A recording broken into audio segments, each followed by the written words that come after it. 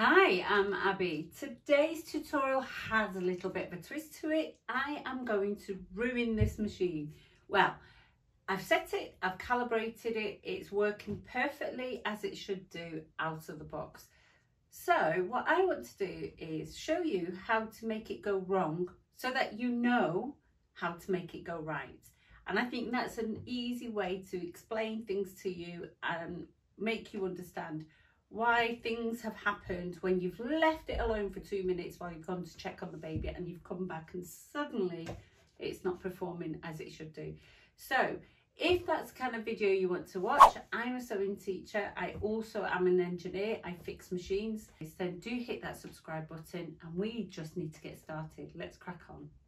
All right, I'm going to show you this machine working perfectly. So let's pop that in, grab the pedal.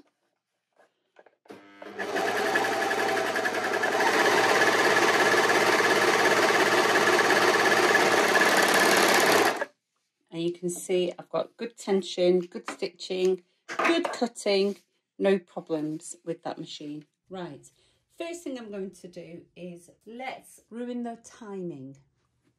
All right, so I've got an Allen key here and the first thing I'm going to do is uninstall those needles. So just turn the handle towards you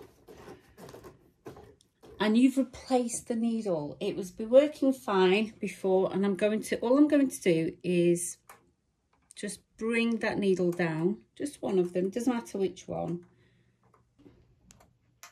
Okay, so that's the good one. And if I mark something on there, okay, I'm put a big tick on that one because that's the good one. And that's the one we're going to use to compare the rest of our work to. Right, so we'll do another row of stitching.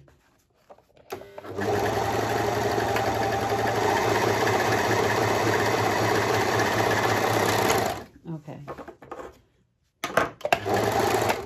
So what's happened this time is I've brought the needle down a little bit further down, just ever so slightly, but it's still in there nice and securely. I've got no stitching at all. So you can see some stitching happening, but not enough okay so what I'll do is I'll put those needles back in fully and so I'll just unwind it and just make sure I put them back in. The thing about this overlocker is the thread map shows all the threads separate from each other so there is no need for your threading to go in a particular order. But as you've just seen, I've had to rethread the machine. So I've had to rethread the looper threads, which is fine because they are separate from each other. But inside there, if I remove this foot, okay, we've done it. Right, you can see that threads are caught around the finger there. So this finger that sits in there for the rolled hem, the blue thread is trapped around there. So what you do is when you're sewing, when you thread up your machine again, what I want you to do is just grab a pair of scissors like you do on your sewing machine and swipe under your foot and grab all four threads or three threads, however many you're using, so that they are now separate from each other. Can you see? And then you can put them underneath and with them not being tangled up it's much easier for you to sew having to not rethread. So I didn't need to remove the foot. It was just to demonstrate what was going on. So you don't need to remove the foot when you do this. Because I know it's a tricky foot to put back on in this machine. It's very peculiar because you've got to press it down.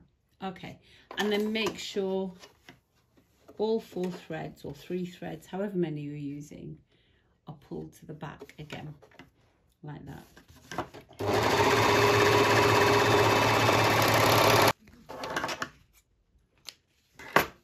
Okay, and there we go. Back to good stitching again. Okay, the next fold I'm going to create is going to be inside here again. And what I'm going to do is I'm going to remove just one of the threads. I'm going to follow this guide, the blue map, and I'm just going to take this thread from underneath this looper. It's like the thread take-up lever. It helps to yank the thread into the right position there. So if I remove these threads here and just remove them from there and not have that threaded up properly, let's see what happens. So we're back to good thread on there. Stitch,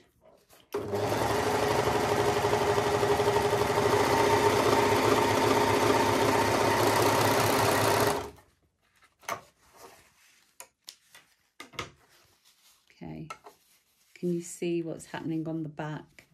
We've got very bad looping going on. So the under looper, so that's the lower looper, that's our lower loop.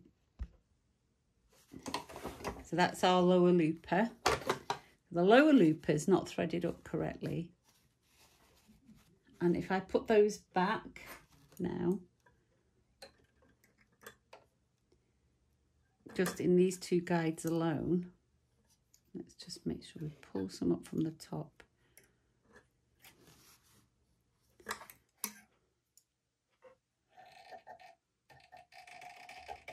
Just make that taut again and then I'll show you what happens.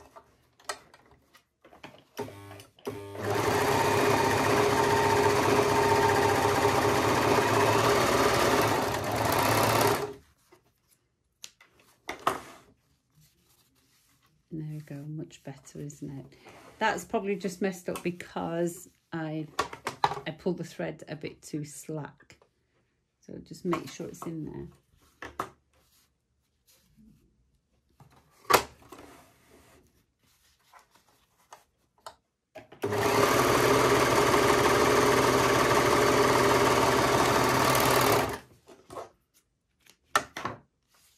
Okay, that's much better. All right, so the next thing we're going to do is I'm actually going to adjust the tension and I'm going to give myself a random tension of six and maybe two and maybe five and that's what I'm convinced works on my machine. Let's play with that.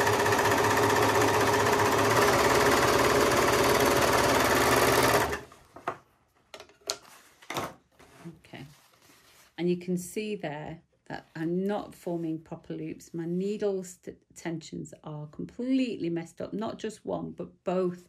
I didn't affect this needle tension, but both needle tensions have been affected because the loopers have all been adjusted badly. So the front looper is appearing on the back and the back looper is not forming very well at all. So let's put it back all to factory settings on four. And let's see what difference we get.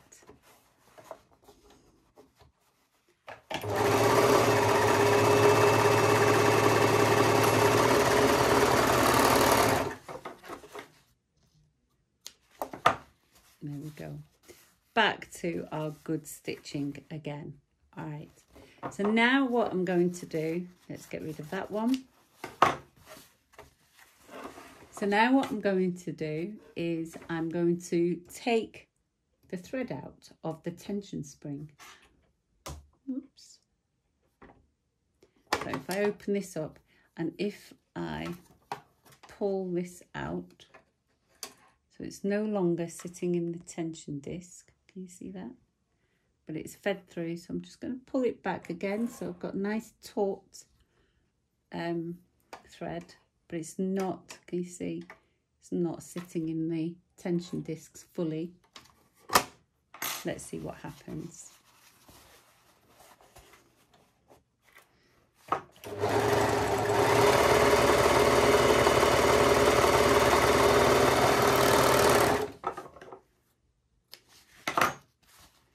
There we go.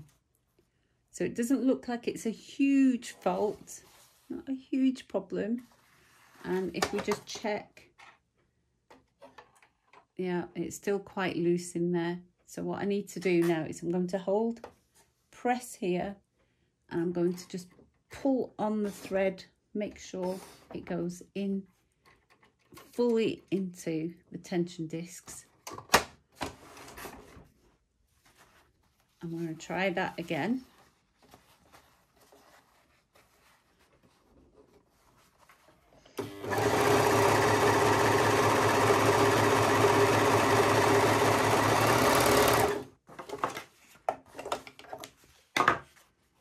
Go.